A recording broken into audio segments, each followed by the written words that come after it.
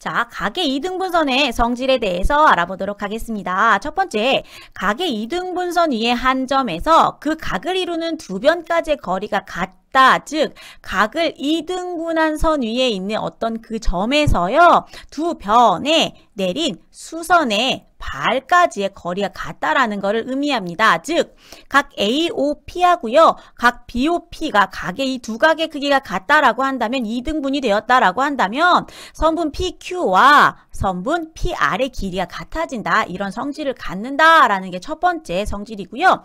두 번째는요. 자, 각을 이루는 두 변에서 각각 어때요? 같은 거리에 있는 이 점은요. 그 각의 2등 분선 위에 있다라는 거예요. 즉 선분 PQ하고요. 선분 PR의 길이가 같다라고 한다면 각 AOP하고요. 각 BOP의 각의 크기가 같아진다라는 거죠. 뭔가 같아 보이지만 이 두 가지 성질이 서로 반대되는 거라는 거 보실 수 있을 거예요. 자 그렇다면 조금 더 자세히 알아보러 가볼게요.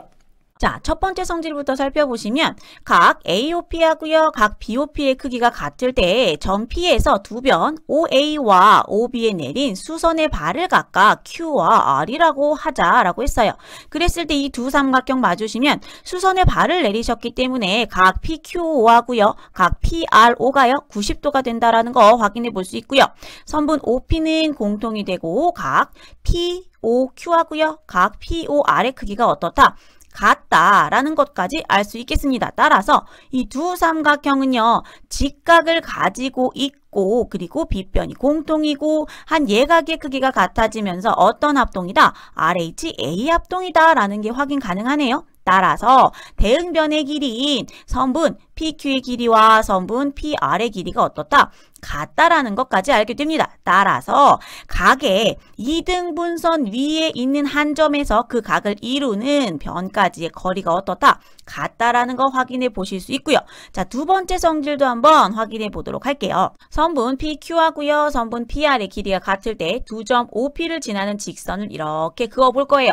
그랬을 때 이 두 삼각형을 한번 봐주실 거예요. 우리 선분 PQ하고요. 선분 PR의 길이가 같기 때문에 어떻다? PQO하고요. PRO의 크기가 몇 도? 90도 직각으로 같다라는 거 확인해 볼 수 있고요.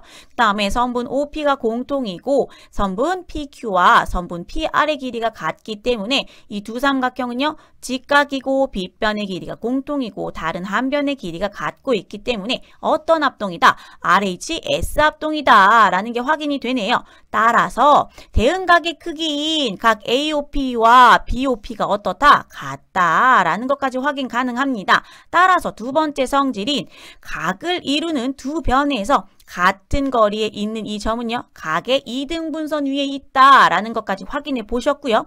각의 이등분선의 이 성질은요. 직각삼각형의 합동 조건을 이용해서 확인해 보실 수 있다는 거 기억해 주시면서 이번 강의 마무리해 보도록 하겠습니다.